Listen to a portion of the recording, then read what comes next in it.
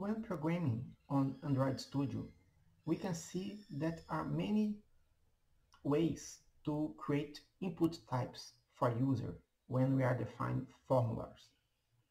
However, it's important to understand how each input type works and how difficult is to choose for one input type or another. So let's take a look how to use the input types on Android programming.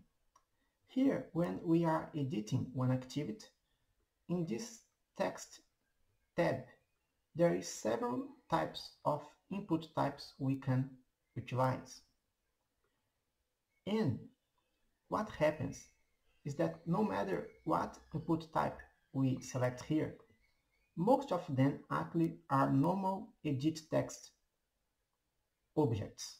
The only thing that differs are the input type attribute. So when we, ch we choose one email field, we have here in the input type the email flagged as true. When we, we choose a phone input type, this one, we have here the input type property as phone. When we want to have a number, a numeric input, that is the case for this field, the input type as number is flagged. So what happens? Actually, they are the same objects from the same class and only differs in how user will be presented to input values on that. What type of keyboard will be presented to users.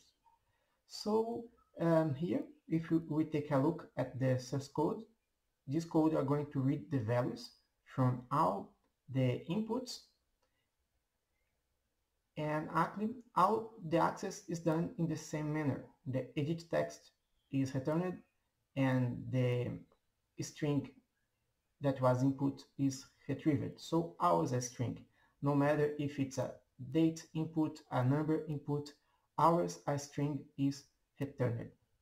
So let's take a look in this code, coding executing. Let me clear our console and now let me um, run our code here. So basically we can now enter in one text field the name, normal keyboard.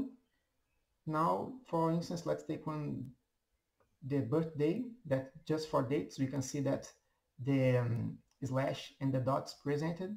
So we can set the date in different formats using slash or using dots according with the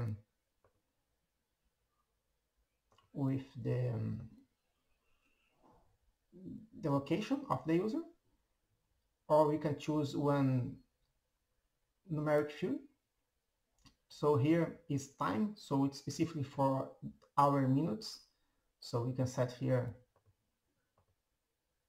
easily one time input with the help of this keyboard. But internally all are the same? So here if we confirm what are presented here to us. We have here the name and the date and the time all presented in the same manner, getting the text from the edit text field. So here it is one overview of how to work with different types of input types on Android.